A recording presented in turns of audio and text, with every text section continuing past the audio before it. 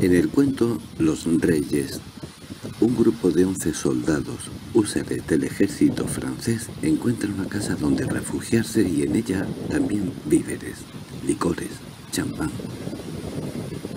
Seguros de que podrán preparar una gran cena, uno de ellos propone al sargento jefe del grupo que invite al cura y que le diga que lo invitan a cenar, pero por favor que traiga alguna mujer. Y el sacerdote, ante la sorpresa de todos, acude a la cena con cuatro mujeres. Pero lo mejor es oír el cuento. Comencemos.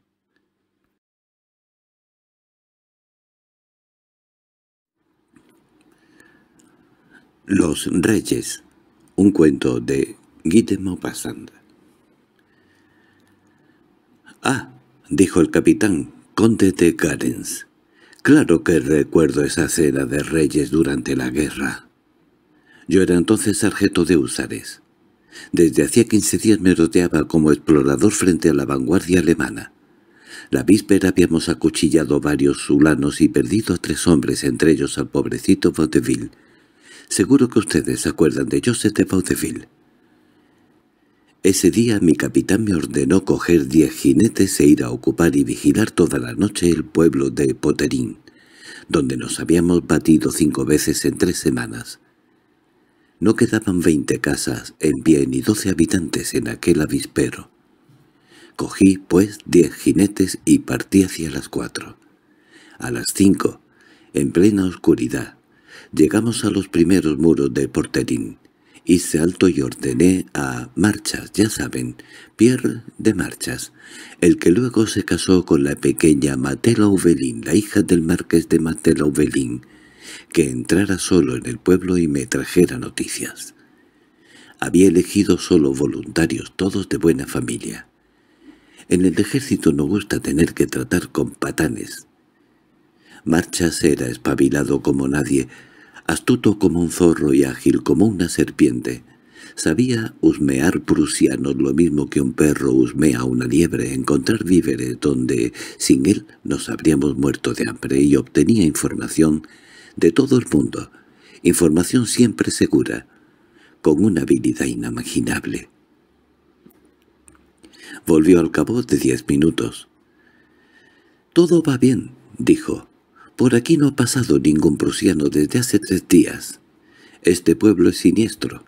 He hablado con una monja que cuida de cuatro o cinco enfermos en un convento abandonado. Ordené avanzar y penetramos en la calle mayor. A la derecha e izquierda se percibían vagamente paredes sin techo apenas visibles en la profunda oscuridad. De trecho en trecho brillaba una luz detrás de un cristal. Una familia se había quedado para guardar su vivienda casi en pie una familia de valientes o de pobres. La lluvia empieza a caer. Una lluvia menuda, helada, que nos helaba antes de habernos mojado con solo tocar los capotes. Los caballos tropezaban en piedras, en vigas, en muebles. Marchas nos guiaba a pie delante de nosotros, llevando su animal de la brida. —¿A dónde nos llevas? —le pregunté. Respondió, «Tengo un buen alojamiento». Y no tardó en detenerse ante una casita burguesa que permanecía entera, bien cerrada, que daba a la calle, con una huerta detrás. Con un guijarro grande cogido cerca de la verja, Marchas hizo saltar la cerradura, luego subió la escalinata, echó abajo la puerta de entrada a patadas y empujones, encendió un cabo de vela que siempre llevaba en el bolsillo y nos precedió en un buen aposento confortable de particular rico, guiándonos con seguridad, con una seguridad admirable, como si hubiera vivido en aquella casa que veía por primera vez. Dos hombres que se habían quedado fuera guardaban nuestros caballos. «Marcha», dijo al gordo ponderel que lo seguía. «Las cuadras deben estar a la izquierda. Lo he visto entrar. Vete y aloja los animales que no necesitamos». Luego volviéndose hacia mí. «Da órdenes, recristo. Aquel mocetón siempre me sorprendía», respondí riendo, Voy a disponer centinelas alrededor del pueblo. Volveré a encontrarte aquí. Preguntó. ¿Cuántos hombres te llevas? Cinco. Los otros los relevarán a las diez de la noche. Bueno, me dejas cuatro para reunir víveres, hacer la cena y poner la mesa. Ya encontraré yo el escondite del vino. Y me marché para reconocer las calles desiertas hasta la salida al llano, para apostar allí mis centinelas. Media hora más tarde estaba de vuelta. Encontré a Marchas echado en un gran sillón Voltaire cuya funda había quitado por amor al lujo, decía. Se calentaba los pies al fuego y fumaba un excelente puro cuyo aroma inundaba la habitación. Estaba solo, con los codos sobre los brazos del sillón, la cabeza entre los hombros, las mejillas encendidas. Miraba brillante y aire satisfecho. En el cuarto vecino oía yo un ruido de vajilla. Marchas me dijo sonriendo con aire beatífico. Las cosas marchan. He encontrado el burdeos en el gallinero, el champán debajo de los peldaños de la escalinata, el aguardiente, cincuenta botellas del mejor en el huerto, entre las raíces de un pedal que, visto a la luz de la linterna, no me ha parecido derecho. En la parte sólida tenemos dos gallinas, una oca, un pato, tres palomos y un mirlo que había en una jaula. Solo carne de pluma, como ves. Todo eso se cuece en un momento. Este pueblo es excelente.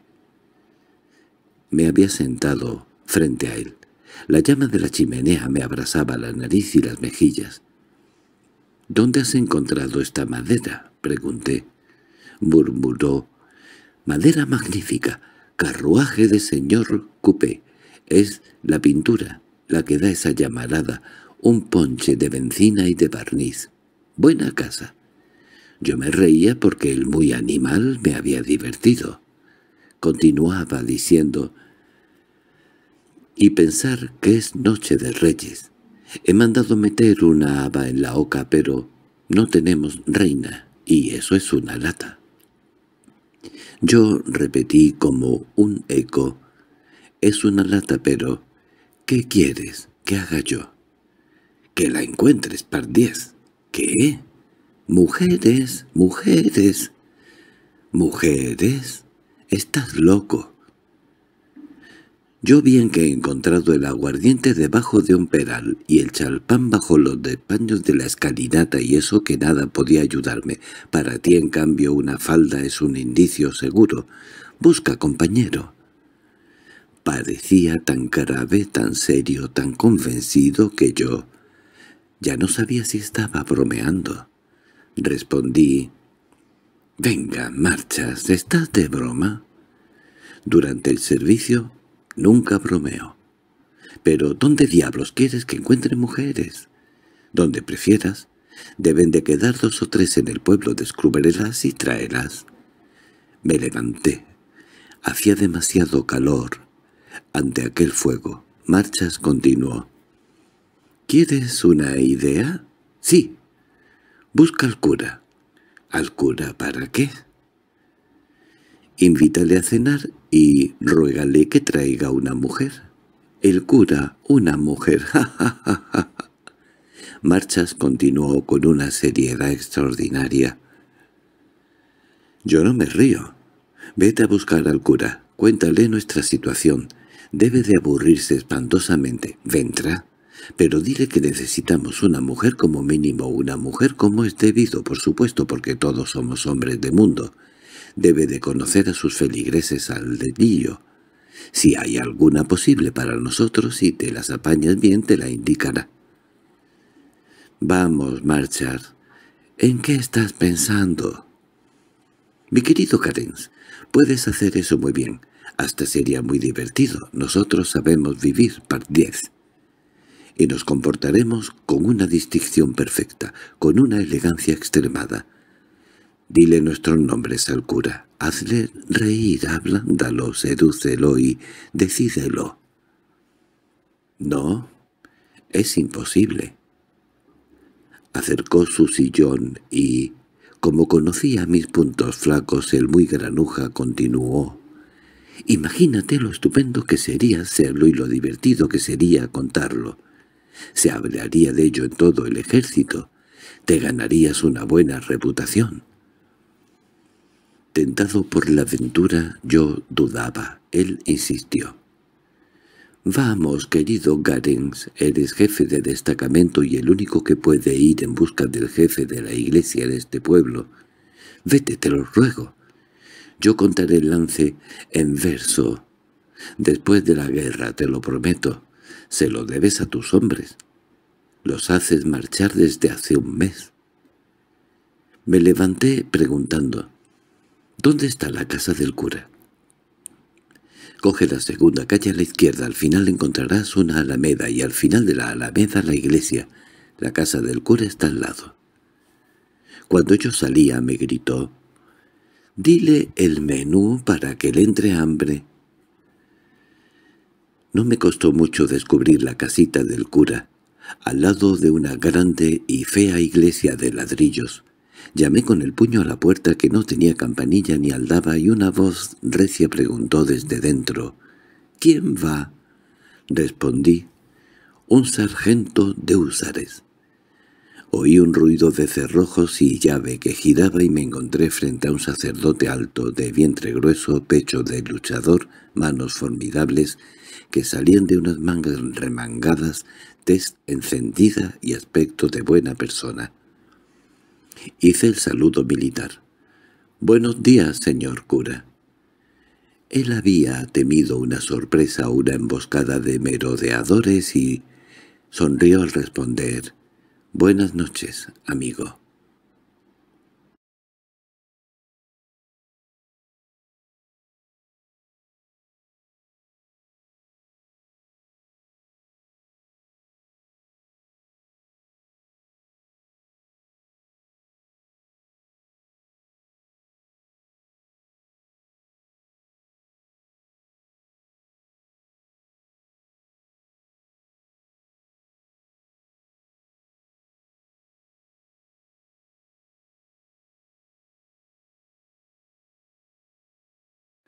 Me dijo que entrara.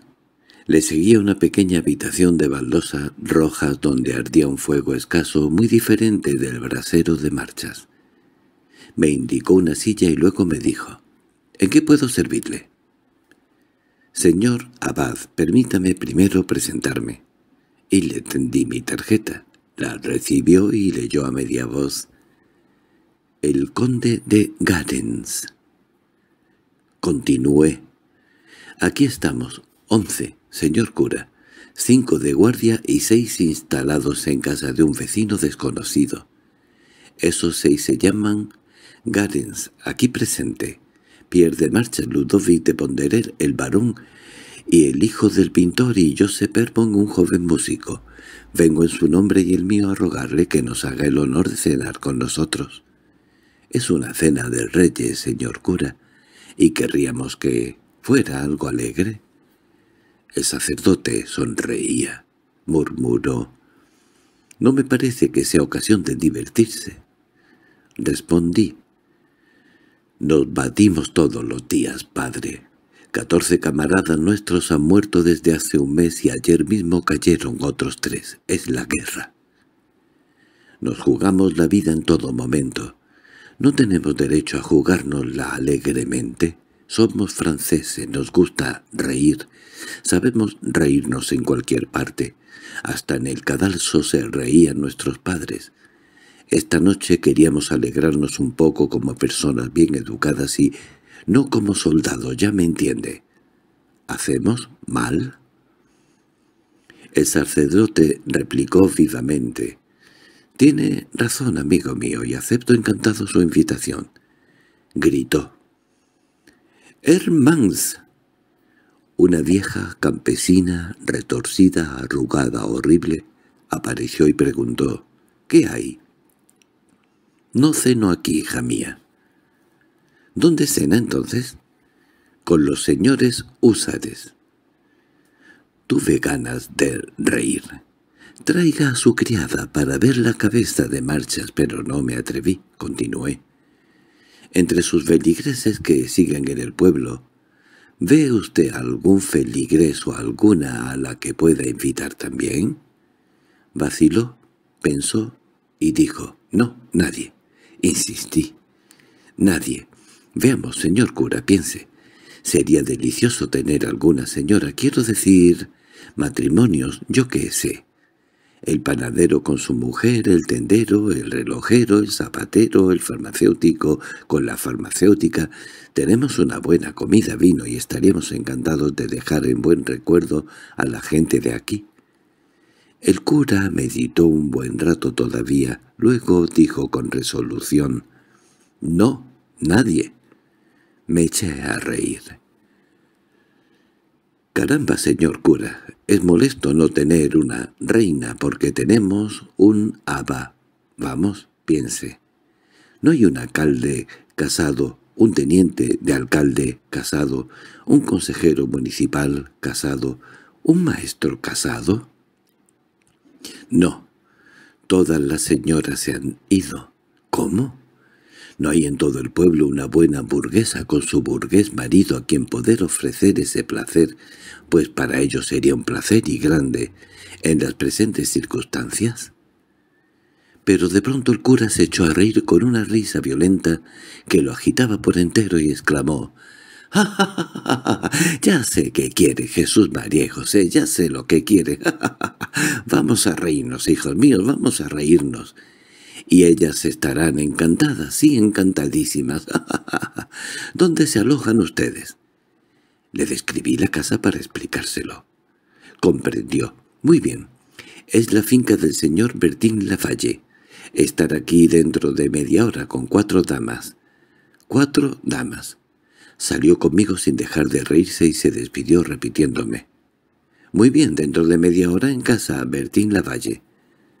Regresé deprisa, muy sorprendido, muy intrigado. —¿Cuántos cubiertos?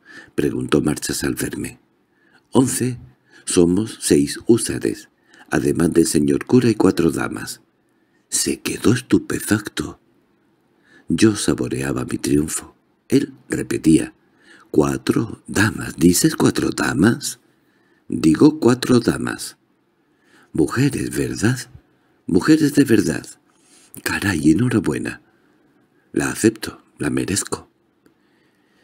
Se levantó del sillón, abrió la puerta y vi un hermoso mantel blanco puesto sobre una larga mesa en torno a la cual tres húsares con delantal azul disponían platos y copas.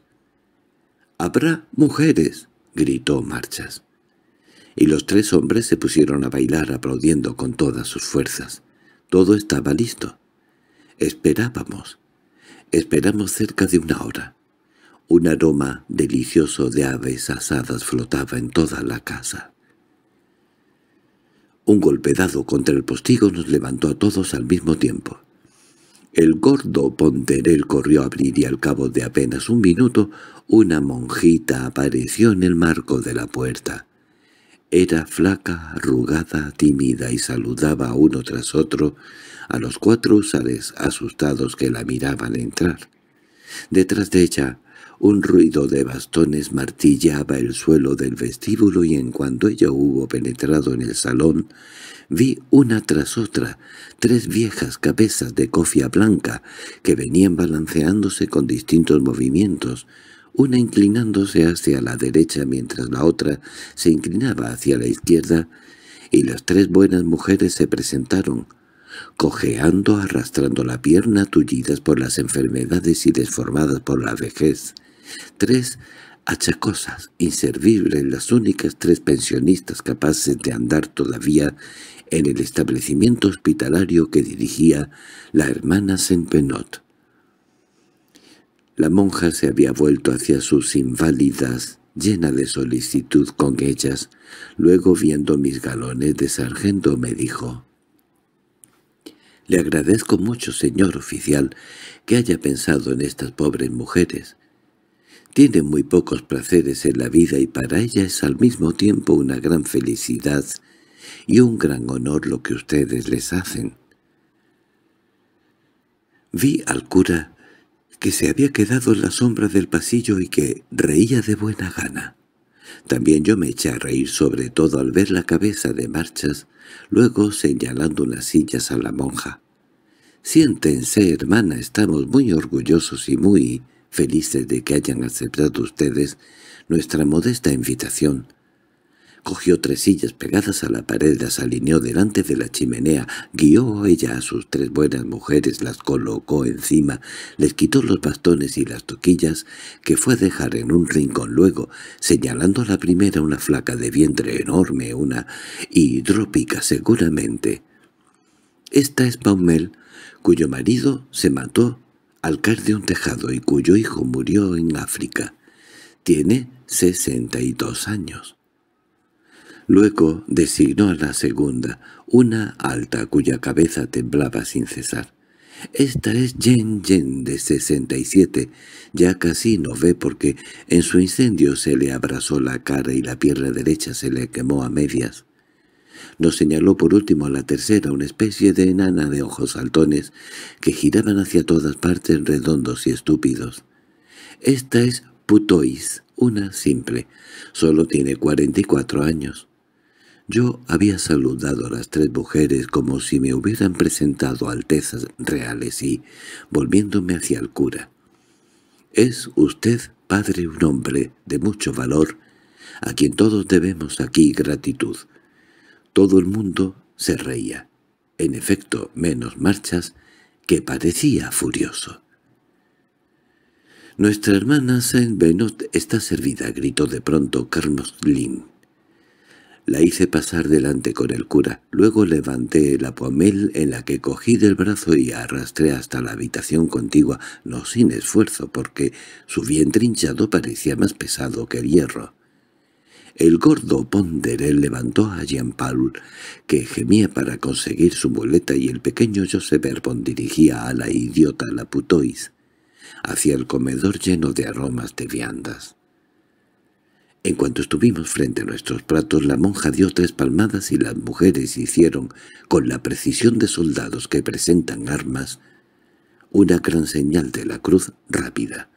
Luego el sacerdote pronunció lentamente las palabras latinas del Benedicite.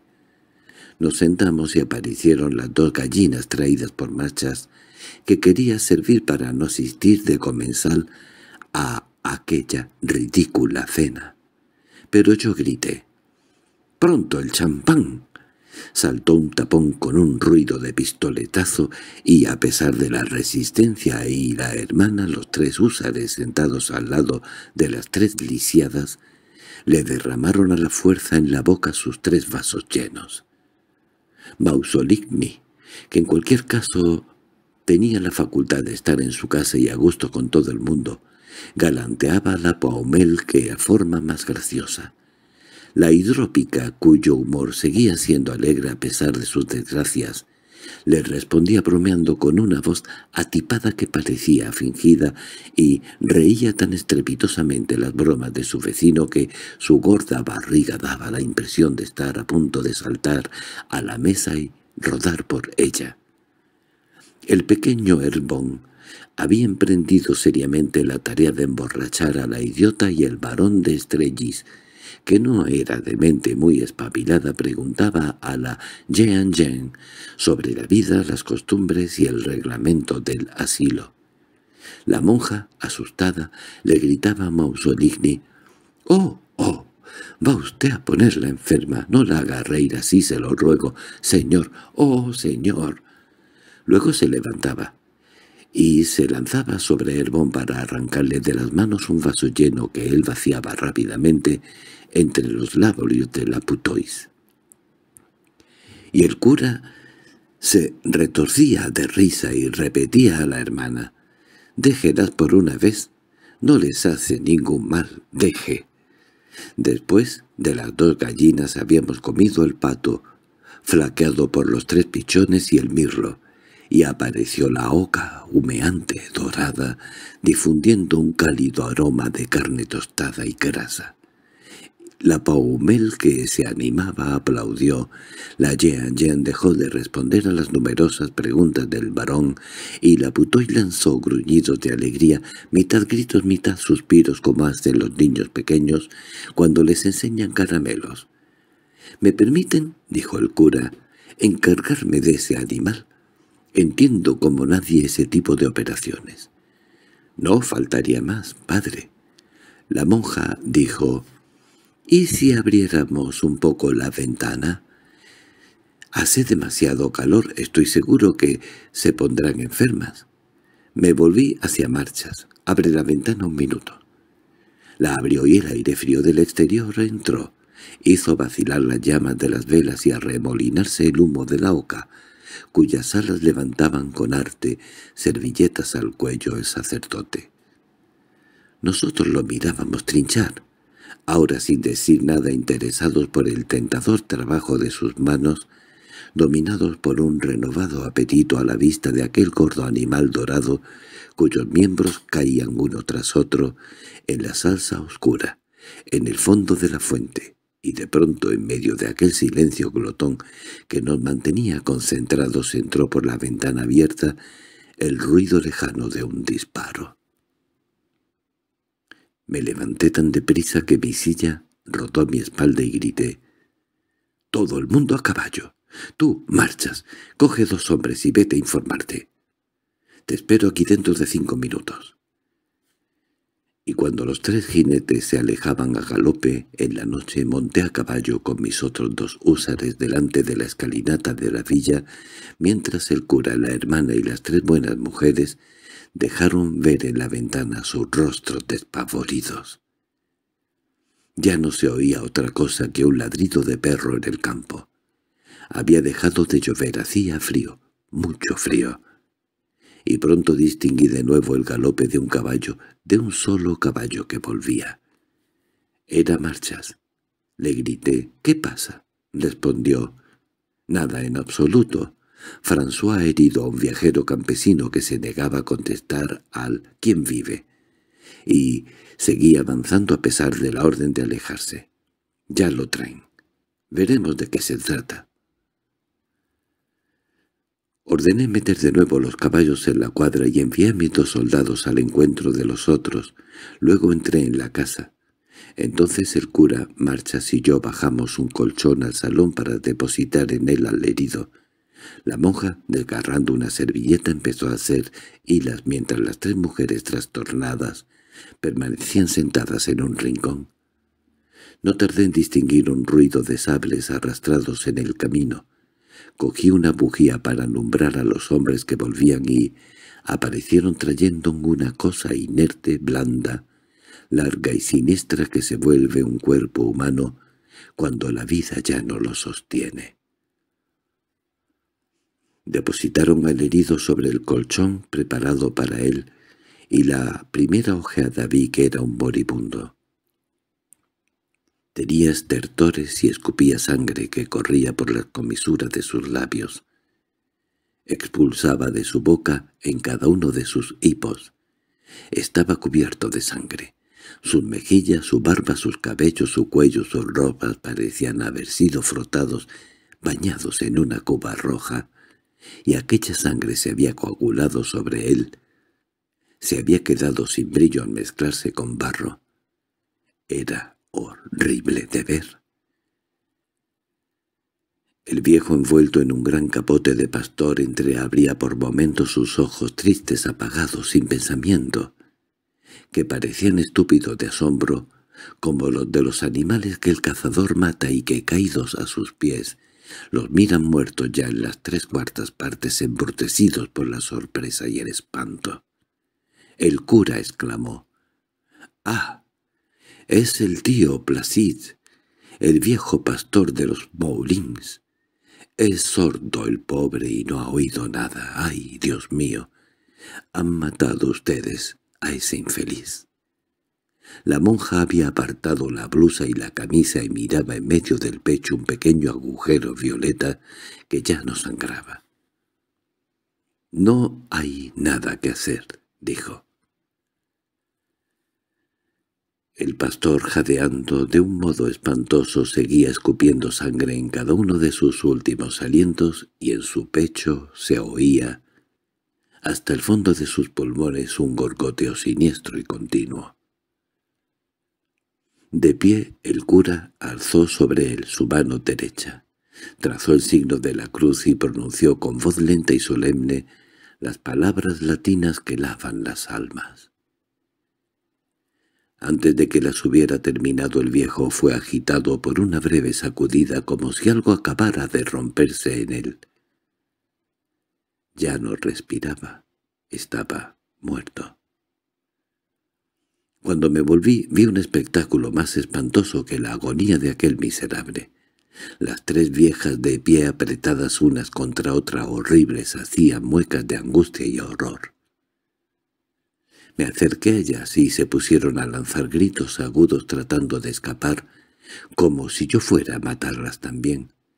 La Jean Jean, a quien su pierna quemada ya no sostenía, cayó cuán larga era al suelo. La hermana Saint Bernard, abandonando al muerto, corrió hacia sus inválidas y sin decirme una palabra, sin una mirada siquiera, las cubrió con sus toquillas. Le dio sus muletas, las empujó hacia la puerta, las hizo salir y desapareció con ellas en la noche profunda, tan negra. Comprendí que ni siquiera podía hacer que las acompañase usar, pues bastaba el ruido del sable para asustarlas. El cura seguía mirando al muerto. Por fin, volviéndose hacia mí, dijo, «¡Ah, qué horrible!» Fin